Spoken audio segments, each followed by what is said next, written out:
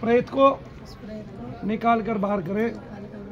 और मुझ पर अपनी अनुकंपा करें। मेरी रक्षा करें। आपकी सदा ही जय हो। अब मेरी आँखों में देखती रहिए, जो पैरालाइज देने वाला है, उसका पता चल जाएगा।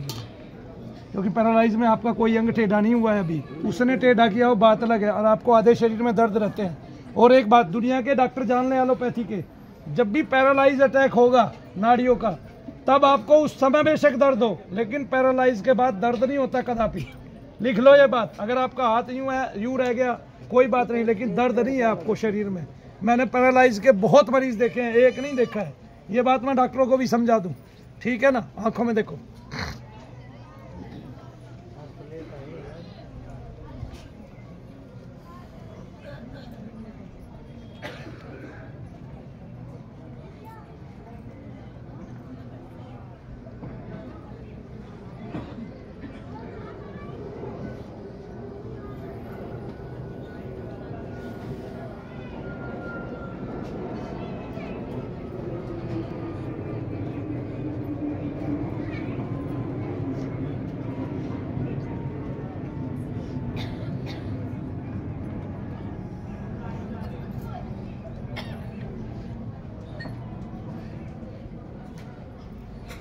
कान में फूक लगवा।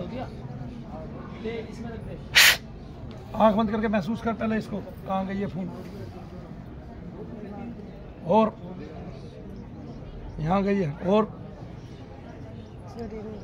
पूरे शरीर में गई है कि अभी आधे में गई है? आधे में, पूरे शरीर में नीचे तक गई है, पैर तक। फिर महसूस करिए। आँख बंद कर, छोटा हाथी खाएगा कुछ खाएगा?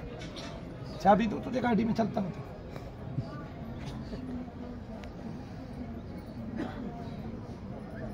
कहाँ गई है? नीचे तक गई है?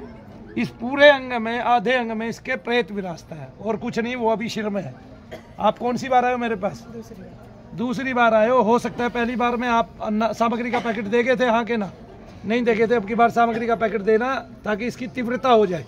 ठीक है आपके बच्चे को और ज़्यादा लाभ मिल जाए बोलो जय शनिदेव। पैर मार ज़मीन पे और दर्द बता मुझे कहाँ है। ठीक है?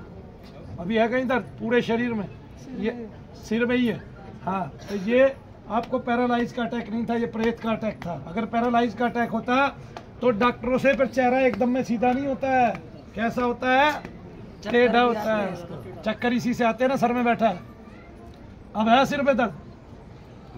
फिर मार पैर ज़मीन पे। जय शनिदेव बोल ज़ोर से मुँह से। आजकल के बच्चे शर्माते बहुत हैं। भगवान का नाम लेने में क्या शर्म है? ज़ोर से मार। हाँ। बस, और दो बार में ठीक हो जाएगी, लेके आओ इसको। अब बता, सर में दर्द है क्या? अब नहीं है। चलो। यही दोष है इसको, और कोई दोष ही नहीं है। कभी मत समझना, इसको पैरालाइज का कोई अटैक नहीं पड़ा था। है ना? और दो बार आओगे, ठीक ही ना हो जाएगी। बोलिए जय शनिदेव।